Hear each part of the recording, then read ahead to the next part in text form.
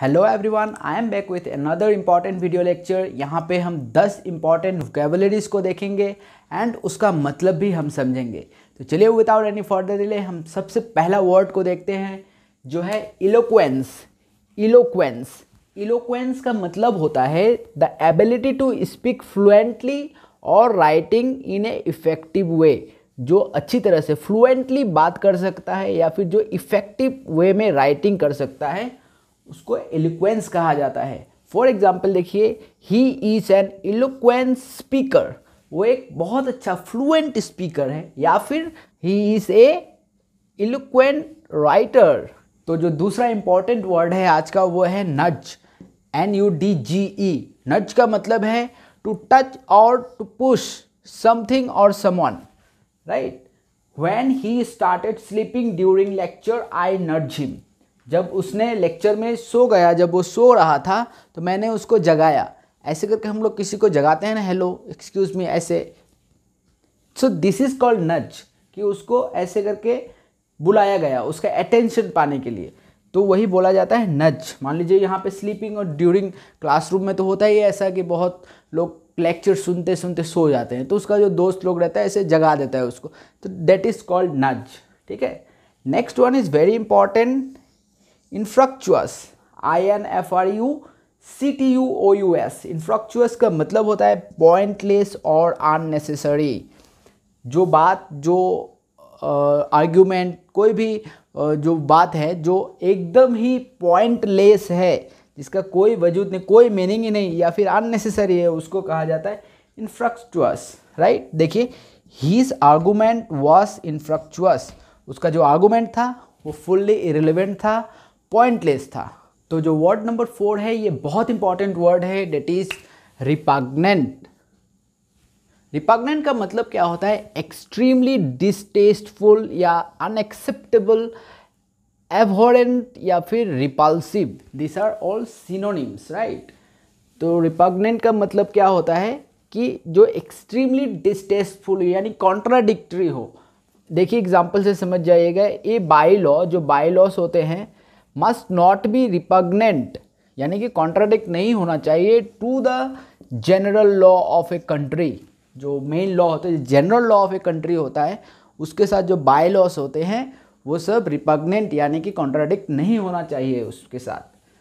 जो word number five है that is also very important reluctant reluctant का मतलब होता है अनविलिंग या फिर हेजिटेट करना, या फिर डिसइंक्लाइंड राइट right? तो इसका देखिए he was reluctant to accept the offer मान लीजिए किसी ने कोई कॉन्ट्रैक्ट या फिर किसी चीज़ का ऑफ़र किसी को दिया एंड जो जिसको ऑफ़र दिया जा रहा है, वो आदमी अगर हेजिटेट फील करता है एक्सेप्ट नहीं करता है तो उसको बोला जाएगा he was reluctant to accept the offer right तो नेक्स्ट जो देखिए लोर एल ओ आर ई लोर का मतलब होता है इंफॉर्मेशन या फिर नॉलेज या फिर story of something for example he was loring about his past उसने अपने पास्ट के बारे में स्टोरी बता रहा था कुछ राइट तो स्टोरी को बताने का, जो स्टोरी या नॉलेज शेयर करना या फिर इंफॉर्मेशन शेयर करने का ही जो वर्ड होता है डेट इज़ लोर लोर यानी कुछ स्टोरी टाइप में बताना। तो देखिए जो वर्ड नंबर सेवन जो वेरी इंपॉर्टेंट वर्ड है इट इज़ एलाक्रिटी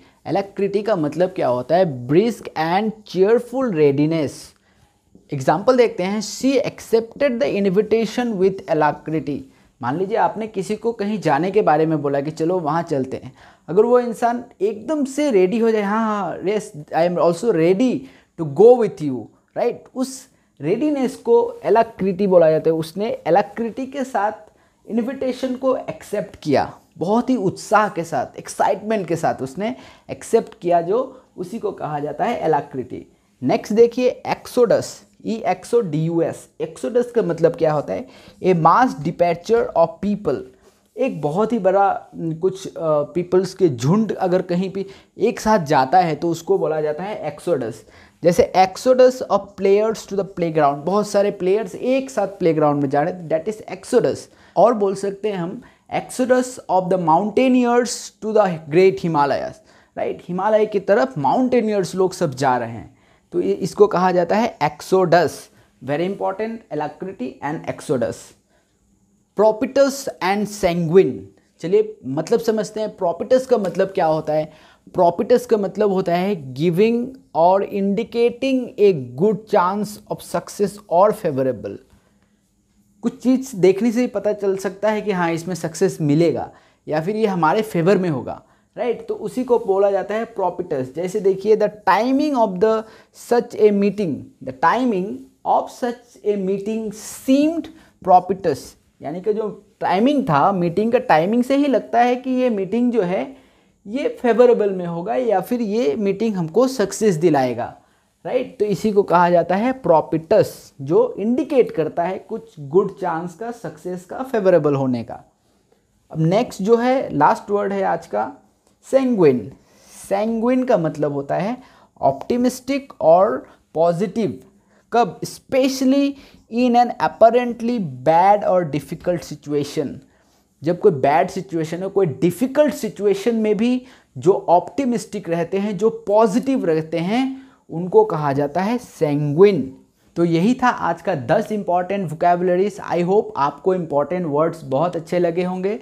तो वीडियो को लाइक कर दीजिएगा, साथ ही अगर आप चैनल पे नए हैं तो सब्सक्राइब कर लीजिए ताकि आने वाले इंपॉर्टेंट वीडियोस आपसे मिस ना हो। See you soon thank you so much for watching